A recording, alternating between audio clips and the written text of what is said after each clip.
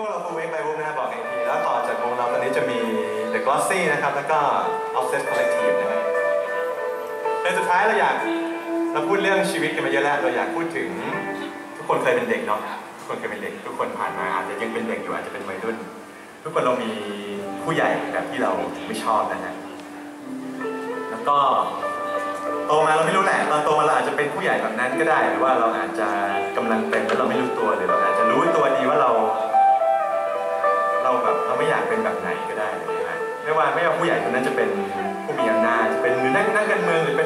ติพี่น้องเราก็ตามนะ อันนี้ไม่มีอะไรมากก็อยากจะบอกว่า ไม่ชอบผู้ใหญ่แบบไหนอย่าโตไปเป็นคนแบบนั้นนะ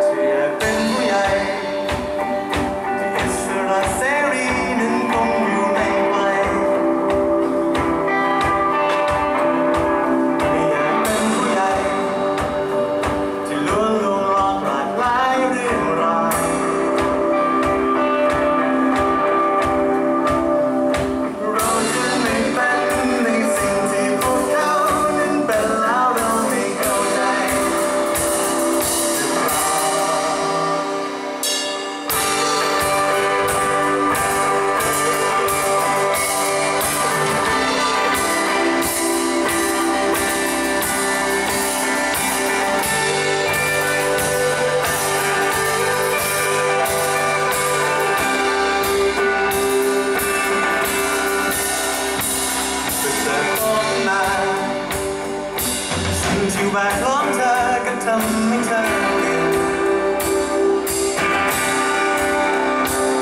เปิดมองมาเธอได้เข้าใจว่าใครก็ต้อง